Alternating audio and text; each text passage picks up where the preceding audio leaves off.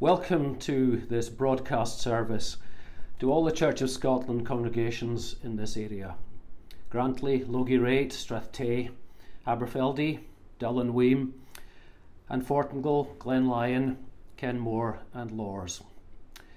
Welcome too to any visitors who are joining us. Although we're all in separate places, we are still a gathered community of God's people, worshipping together as we join in the name of our Lord Jesus Christ. We're here in the porch of Fortingall Church. In case you're wondering why I'm here, this is one of the specific reasons allowed by the government and the Church of Scotland for being in a church at this time, provided only two people are involved.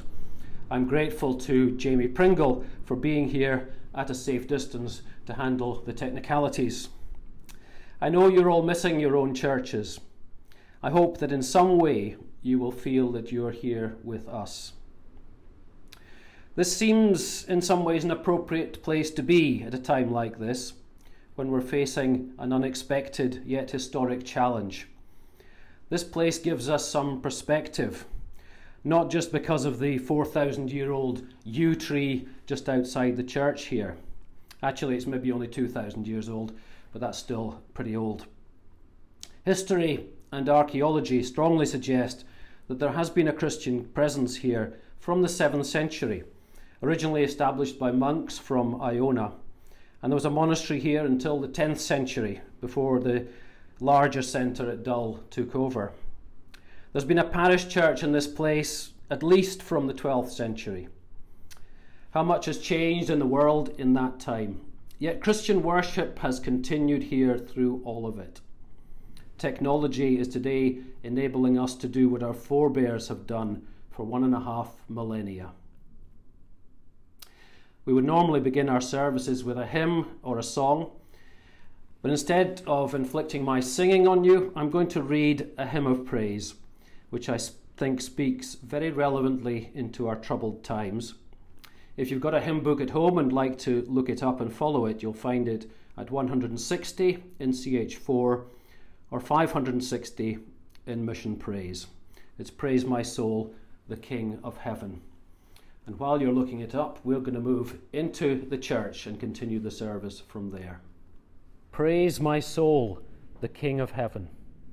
To his feet thy tribute bring, ransomed, healed, restored, forgiven who like thee his praise should sing. Praise him, praise him, praise him, praise him, praise the everlasting King. Praise him for his grace and favour to our fathers in distress. Praise him still the same for ever, slow to chide and swift to bless. Praise him, praise him, praise him, praise him, glorious in his faithfulness. Father like, he tends and spares us. Well our feeble frame he knows. In his hands he gently bears us, rescues us from all our foes. Praise him, praise him. Praise him, praise him, widely as his mercy flows. Frail as summer's flower we flourish Blows the wind, and it is gone. But while mortals rise and perish, God endures unchanging on. Praise Him, praise Him, praise Him, praise Him, praise the high eternal one. Angels, help us to adore Him. Ye behold Him face to face. Sun and moon bow down before Him, dwellers all in time and space. Praise him, praise him, praise him, praise him. Praise with us the God of grace. Let us join together now in our prayers. Let us pray. Lord God Almighty, we praise you as King of heaven, high, eternal one, who made all things, to whom alone our worship is due. We thank you for the eternal truths of that hymn, that you are unchanging, faithful in all your promises, the God who was trusted by those who have gone before us and whom we can trust now. Lord God, we confess before you now our many failings and failures, our lack of trust in you, our lack of love for others, our selfishness and pride, the blind eye we sometimes turn towards injustice, our silence when we need to speak out. It astonishes us that although you know us completely, yet you love us with a true Father's heart. In Jesus, you have revealed just how much you would do to win us back to you. Through the work of Jesus, we, who are undeserving of your grace, are ransomed, healed, restored, forgiven.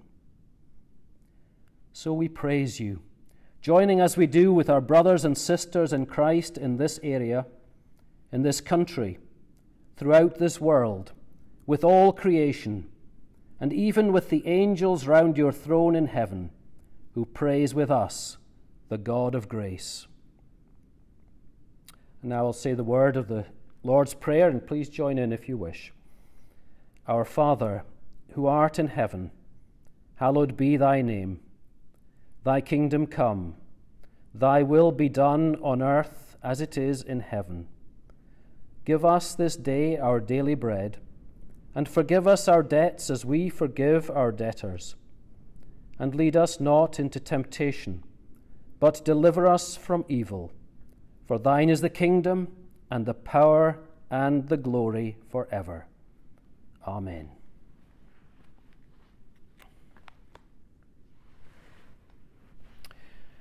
This is Palm Sunday, when we remember Jesus' triumphal entry into Jerusalem. It is also known as Passion Sunday, the start of Holy Week, when we think about what is to follow in these next few days, leading up to another procession to the cross at Calvary. I want to talk this morning about those two processions where we are observers. But I'm also going to talk about a third procession in which we are participants. First reading is from Matthew's Gospel, chapter 21, and reading from verse 1. Matthew 21, from verse 1. As they approached Jerusalem and came to Bethphage on the Mount of Olives, Jesus sent two disciples, saying to them, Go to the village ahead of you, and at once you will find a donkey tied there, with her colt by her. Untie them and bring them to me. If anyone says anything to you, tell him that the Lord needs them, and he will send them right away. This took place to fulfill what was spoken through the prophet. Say to the daughter of Zion, See, your king comes to you, gentle and riding on a donkey, on a colt, the foal of a donkey. The disciples went and did as Jesus had instructed them. They brought the donkey and the colt, placed their cloaks on them, and Jesus sat on them. A very large crowd spread their cloaks on the road, while others cut branches from the trees and spread them on the road. The crowds went ahead of him and those that followed shouted, Hosanna to the Son of David! Blessed is he who comes in the name of the Lord! Hosanna in the highest! When Jesus entered Jerusalem, the whole city was stirred and asked, Who is this? The crowds answered, This is Jesus, the prophet from Nazareth in Galilee. The key question which this procession raised was what kind of Messiah are you waiting for? That was the question that Jesus posed with his dramatic entry to Jerusalem. The crowd who welcomed him and followed him into the city were largely those who had come up for the festival, people who had listened to his teaching, who had seen evidence of his miracles, some who had been there when Lazarus was brought out of his tomb what did they want? A miracle worker who could heal them, sort out all their problems, give them peace and prosperity? Maybe.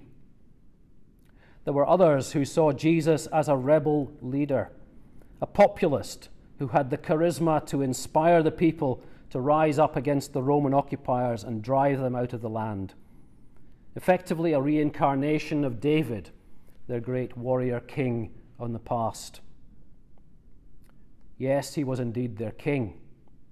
Yes, they were absolutely right to praise him. But what kind of Messiah? Jesus answered that five days later as another procession made its slow and painful way out of the city. The sad procession to the place of the skull, Golgotha, where he was fastened by nails to a wooden cross. A Messiah, a Saviour who demonstrated total humility and self sacrifice, as God in love took upon himself all the consequence of humanity's separation from our Creator the ultimate in love from a Father who does not force us as he could, but seeks to win us back through grace, his free gift of love. We observe that first procession into the city and would wish to join the crowd, waving our palm branches and praising our coming King. We observe that second procession out of the city through tears in our eyes as we think that it is our sin that caused his pain, our disobedience which put him on the cross. What of that third procession? We find it in Paul's second letter to the Corinthians, chapter 2, and reading from verse 12. 2 Corinthians 2, from verse 12. And Paul writes, now, when I went to Troas to preach the gospel of Christ and found that the Lord had opened a door for me, I still had no peace of mind because I did not find my brother Titus there. So I said goodbye to them and went on to Macedonia. But thanks be to God, who always leads us in triumphal procession in Christ, and through us spreads everywhere the fragrance of the knowledge of Him. For we are to God the aroma of Christ among those who are being saved and those who are perishing. To the one, we are the smell of death, to the other, the fragrance of life.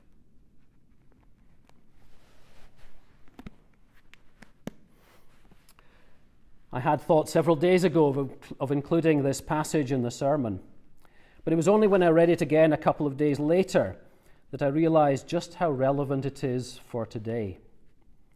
That particular relevance comes not so much from the wonderful statement of thanksgiving, but from the bit of travelogue that precedes it, the bit we might skip over to get to the good bit. What Paul is telling us is that when he came to Troas, he was able to preach and do good work, but he couldn't settle there. That's because he was anxious about his friend and colleague Titus. It was partly a personal concern for Titus. These were dangerous times. Travel itself had many risks, and being a Christian brought added threats. Paul desperately wanted to know that Titus was safe and well. But there was another concern for the congregation in Corinth that Titus had gone to see. There had been some real difficulties there and Paul had written to them in severe terms to try to correct them, both in their theology and their behavior. He was anxious to know whether they had seen the error of their ways or had turned away from their faith, the faith he had so carefully instilled in them. Paul doesn't immediately tell us how it all worked out, not this point in the letter. After all, he was writing to the Corinthians, who already knew, not to us. But he's obviously thinking about the result and he rejoices. In chapter 7, we found out why. Not only did he later meet up with Titus and found him to be safe and well, but he also heard from Titus the great news that the Corinthians had indeed repented and their fellowship was restored. These are anxious times for all of us. Are we not all anxious in varying degrees as we experience something that none of us have lived through before. And I say that as someone who did miss a few weeks of school during the typhoid epidemic in Aberdeen in 1964 when parts of the city were in lockdown. You can look it up, but don't look in Wikipedia because it's not very accurate. But that was limited to one city. What we're experiencing now is orders of magnitude more serious. It would be quite wrong of me to say that everything will work out fine and tell you not to worry. None of us knows for sure how or when this will all end, or what consequences it will have for our own lives or the society in which we live. Even worse for me would be to tell you that anxiety is in some way a weakness in your faith. Paul, as we've just seen, was anxious, so much so that his mind could not rest. It is true that there are things we should try not to be anxious about. Jesus tells us to trust God for our daily necessities. So we should be the last people to panic by. He also says that we shouldn't be overly concerned about ourselves. God is with us, which doesn't mean we can't suffer. In fact, Jesus tells us that we will. We will also have to die, and that can't be put off forever. But still, God does not let us go. We have to trust Him with that, even when it appears that we are abandoned, because we never are. But caring about others, being anxious for them, that's never wrong. Caring about the church, our own fellowship, and others, that's never wrong. But Jesus does not want us to be overwhelmed by that care, that anxiety. He tells us to bring those burdens to Him in prayer. In fact, it is that care, that anxiety, which drives us to prayer. That's what we see Paul doing here. He reminds himself how it all turned out for Titus and the Christians in Corinth. He would have recalled other instances of great danger, when in the world's eyes he may have looked defeated, but when in fact he knew that through it all God's kingdom continued to advance, as it still does today. William Barclay has a graphic description of what must have been in Paul's mind when he wrote this passage. The scene is of a triumph a victory procession into Rome, which was awarded by the Senate only to the most successful of their generals. To qualify, the general must have waged a campaign with great battles fought and won, which resulted in a significant increase in territory, with the region pacified and wealth and leaders captured. This happens so rarely that you might see only one of these triumphs in a lifetime. First came the senators and other senior officials. Then came the trumpeters, followed by the spoils of war, treasures looted from the enemy, and pictures of the conquered land, and models of citadels overthrown, and so on. Then came the captives, kings, rulers, generals, senior officials, in chains on their way to prison and most likely execution. Then came minor officials and musicians. Then the priests swinging their censers of incense. Then a large white bull for sacrifice. Now the crowds would see the general himself standing in a chariot drawn by four horses, holding an ivory scepter with an eagle on the top, the symbol of Rome, and the crown of Jupiter held over his head by a slave. He was followed by members of his family Finally, there came the soldiers of his army, rank upon rank, cheering for their victory. Lining the streets with the citizens, cheering everything and throwing garlands on the soldiers. It must have been an amazing, unforgettable sight.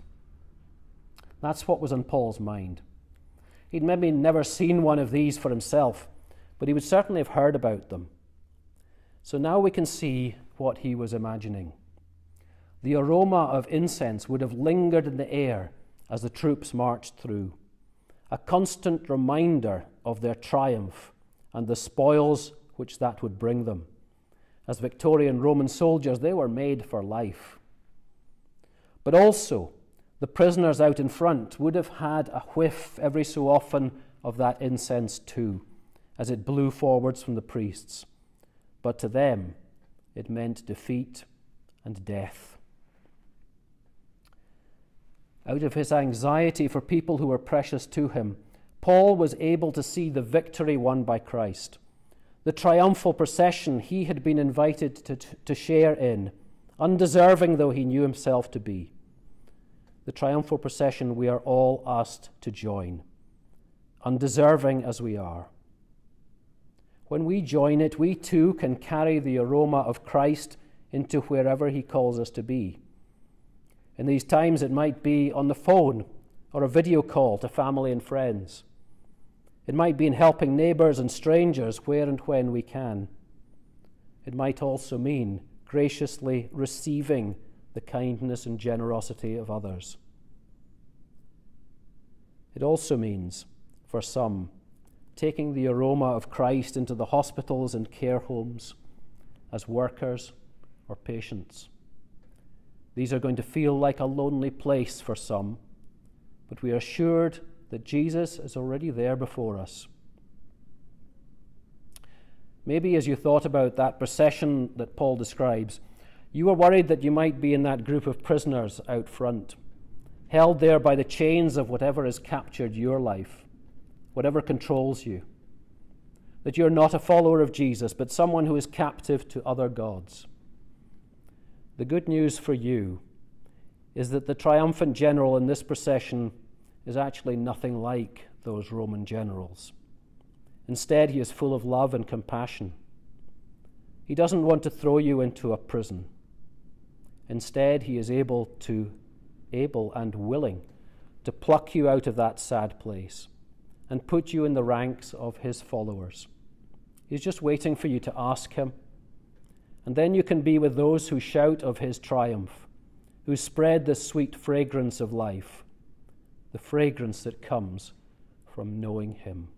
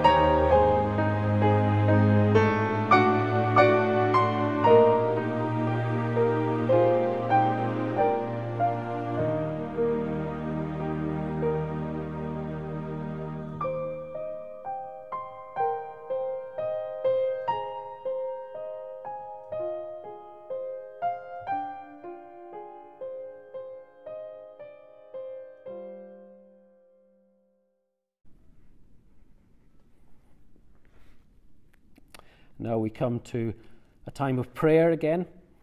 Our prayers of intercession are adapted from a prayer written some three weeks ago by the moderator, the Right Reverend Colin Sinclair.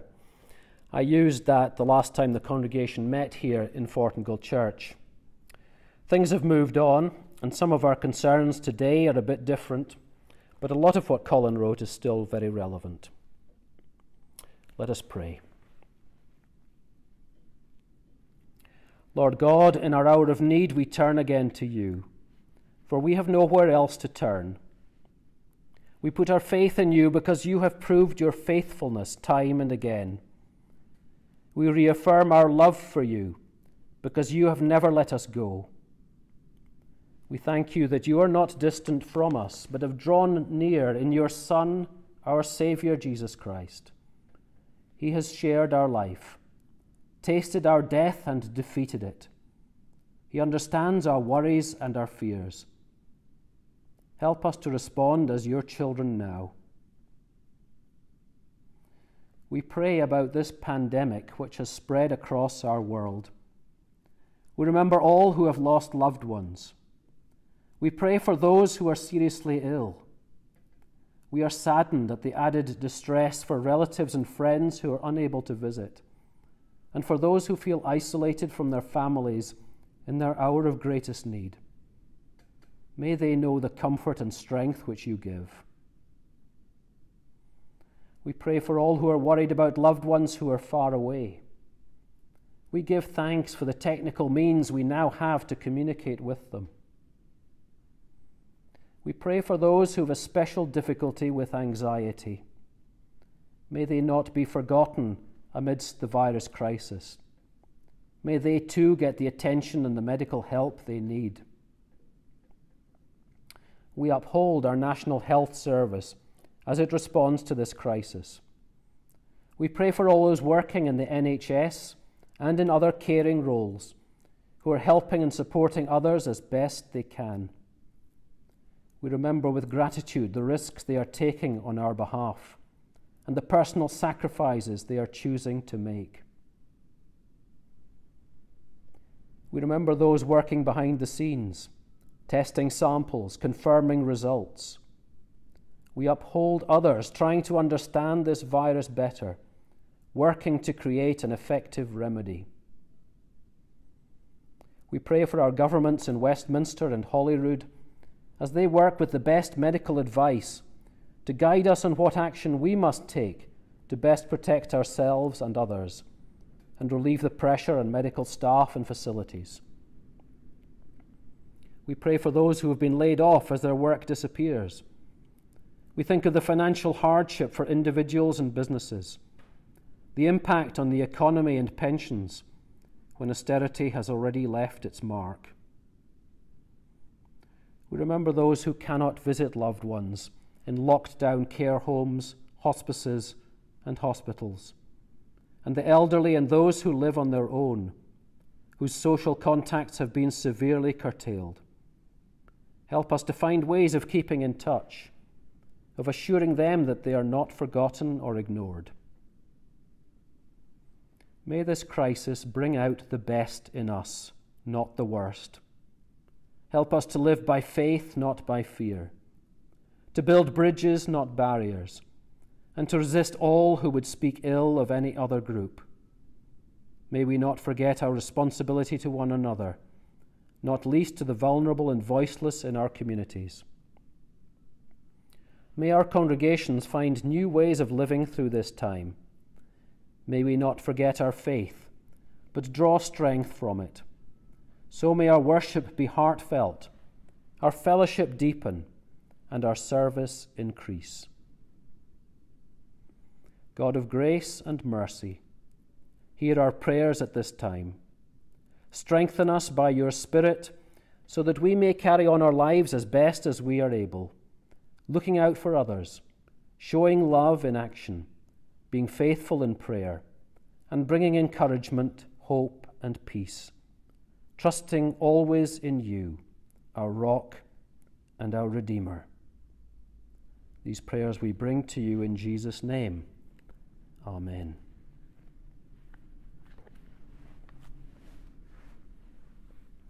finally, a prayer for the start of Holy Week. Lord Jesus, in this sacred and solemn week, when we see again the depth and mystery of your redeeming love, help us to follow where you go, to stop where you stumble, to listen when you cry, to hurt as you suffer, to bow our heads in sorrow when you die, so that when you are raised to life again, we may share your endless joy. Amen.